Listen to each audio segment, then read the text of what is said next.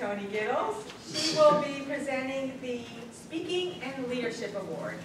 Tony Gittles worked in the healthcare industry for 35 years before dropping everything to take care of her aging mom for 14 years. Tony's mom, who was a former Toastmaster as well, died unfortunately two and a half years ago. It was a marvelous journey which Tony treasures despite the stress of caregiving. It brought out the best in a daughter and transformed her life in a most positive way. Today, Tony helps other caregivers navigate the journey of taking care of a loved one and leads certification courses for professionals interested in expanding their business services. In her spare time, you have spare time, Tony? You can find Tony working in her garden, playing with her Maltese Jasmine, mentoring future Toastmasters in their speaking and leadership skills, and in the ballroom, dancing and competing.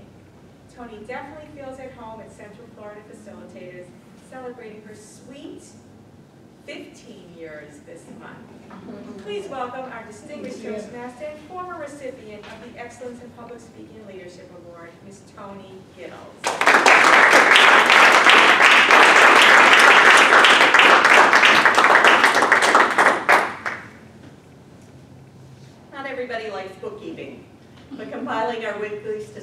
Has become a favorite pastime of mine over many years now. Why? The numbers tell an amazing story of our members' growth and development over time, a lot of which you're witnessing here today through the awards.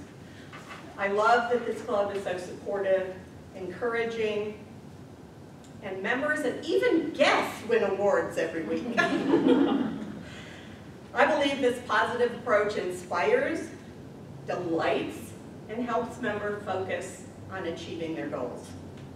The Excellence in Public Speaking Award was proposed in June 2015 to celebrate a member who demonstrated really extraordinary achievement over a 12-month period. Some of you will remember Mark Lockery, who at that time had only been a member in our club for 19 months. When I did the statistics, between July 2014 and June 2015, racked up an unbelievable 28 awards from our club in that period. This included all categories with an emphasis on most celebrated speaker, best evaluator, and best table topics speaker. He really stood out and the board agreed with me that recognition to that member was in order. When looking at our statistics every June, one member usually does distinguish themselves, often in public speaking as well as leadership. So this year we present the Excellence in Public Speaking and Leadership Award because they deserve it. Over the past 12-month term, this Toastmaster has won 21 awards, including six Best Speaker, 12 Best Evaluator, two Best Table Topics, and actually one Most Improved. Good going. we are always impressed with his talent, organization, and passion for public speaking. Prepared speeches are meticulously thought out and rehearsed, organized, evaluations are detail-oriented, helpful and effective, and table topic answers consistently provocative, as well as entertaining. we are captivated by his messages, his delivery, and his offbeat humor. We're mesmerized with his capacity to tell stories, connect with the audience, and speak coherently and without fear when answering a table topic question. This member has always said the easiest officer role is president, when all the officers do their job. Our experience, however, is that life happens, meaning illness, work, and family matters do interfere with volunteering work here at Central Florida Facilitators.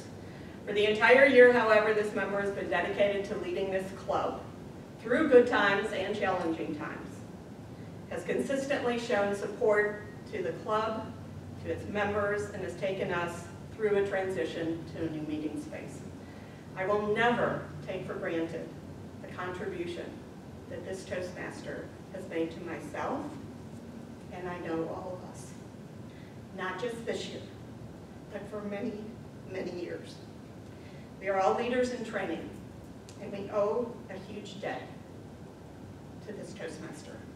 If we're lucky tonight, our recipient may break out in song, or at the very least, we know he'll break out in his president's farewell address.